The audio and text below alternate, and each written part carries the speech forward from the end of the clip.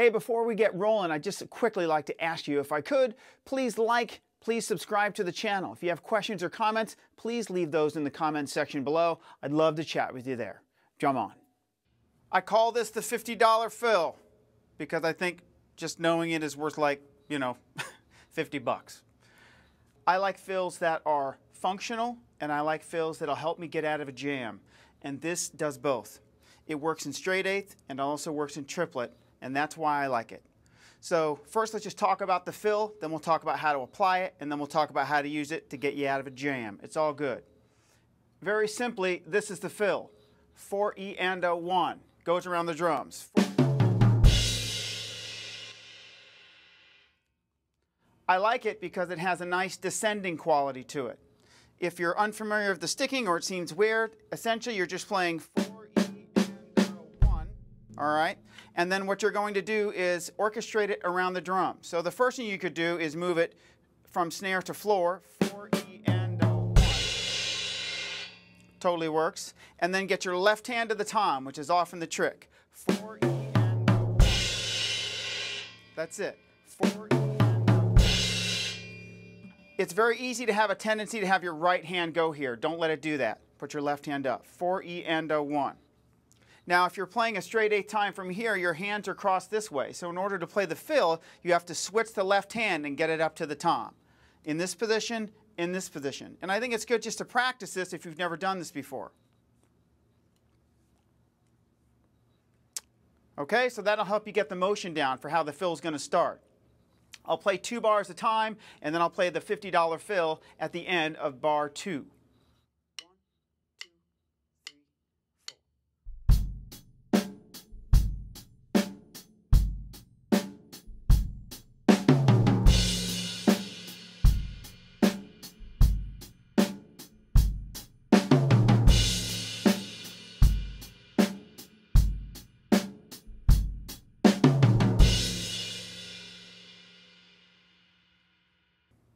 So if most of the time you've been playing just 4E and a 1, this is a nice way to get things moving around the drums. Like I said, it has a nice descending sound to it.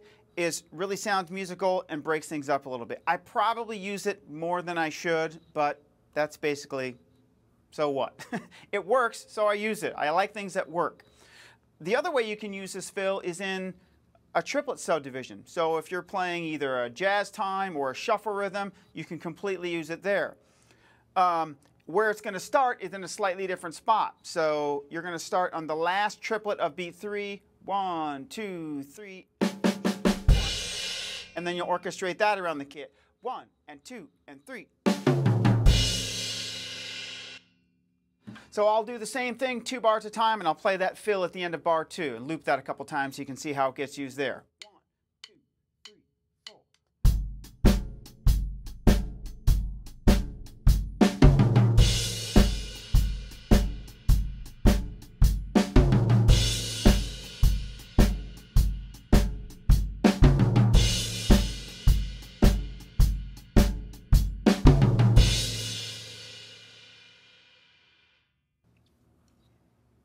Sounds good.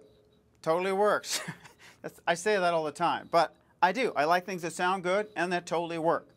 Now you can connect both of these to notes in front of it. So you can make that like the ending of a fill, or sometimes they'll call these kinds of things landing points. So to go back to straight eighth time, I could play 16th notes on beat 3 on the snare drum and have that roll right into the $50 fill starting on beat 4 it sounds real nice and sort of has a smooth entry into the fill. So the fill will sound like this. One, two, three. One more time.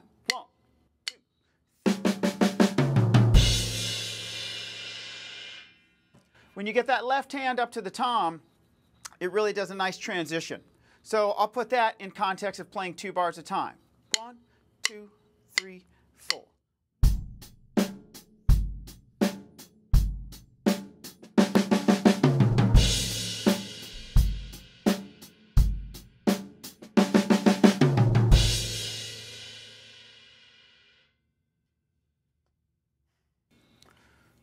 You can do the same thing in a triplet subdivision. You could add just the extra two notes on beat three. One, two. I'll do that again. One, two.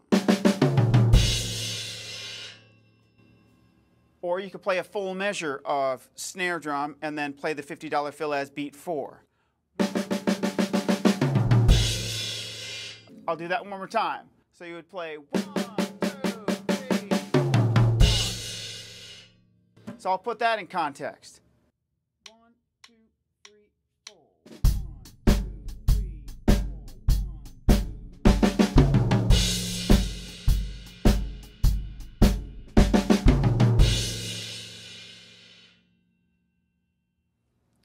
The other way that I use the $50 fill, which in some cases I think is more important, is I talked about a landing point before.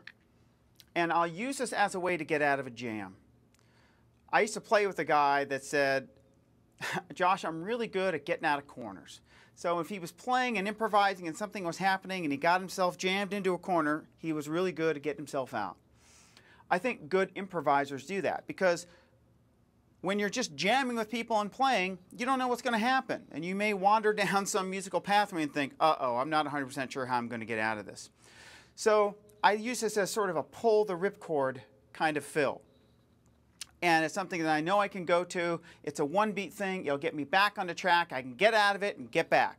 Now you kind of have to know where you are to be able to use it, but hopefully at least know that much. And if you don't, maybe that'll help get things back on track or you can realign or reset or whatever. So I'm going to jam just for a second and try to get myself put into a corner somewhere and then use this fill to kind of get out of it a couple different ways so you can see how I'm using it to get out of a jam. This is the other way to use it. All right.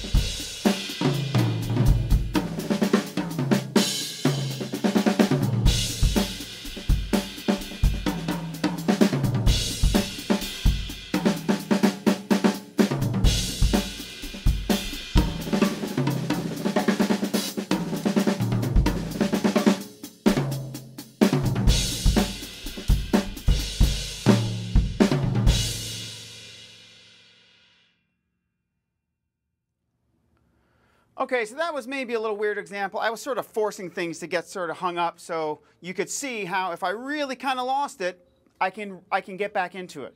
A couple of those were I knew I was going to get there and I used that to get out of it, hitting the cymbal. And then a couple of them were I got myself into a jam where I knew I was almost getting hung up and then you can get out of it. So that's the thing. You can smooth your way through it, or if you're really hung up, you're just like, bugga digga boom, $50 fill, $50 fill, and you're out of there. So it works for straight eighth, and it also works in a shuffle or swing type setting as well. So let me try something like that, just to give you an example.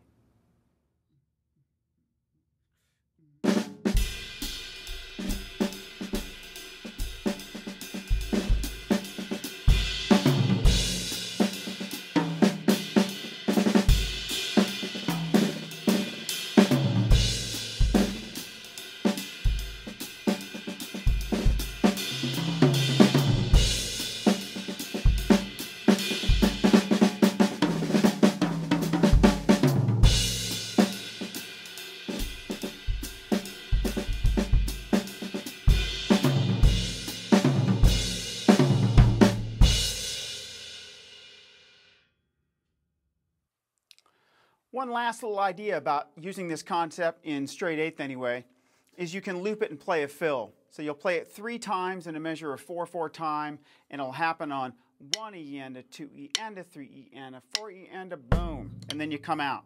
So I'll show you how it works and it is a nice little orchestrated idea that you can use sometime based off this concept of the kind of a three side of a clave.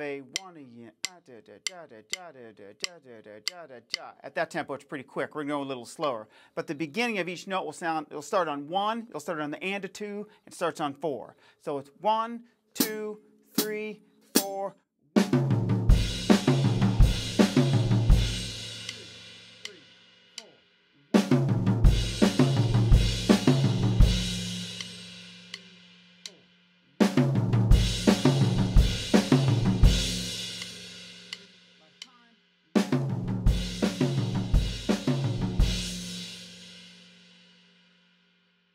In context, it sounds something like this.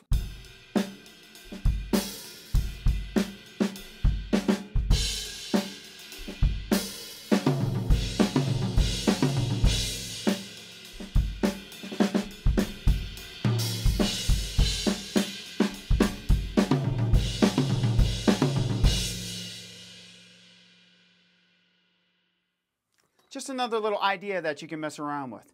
These are by no means the only ways to use them, but what I like about this fill, the $50 fill, is that it's functional. You can use it in straight eighth, you can use it in swing, and most importantly, it can get you out of a jam.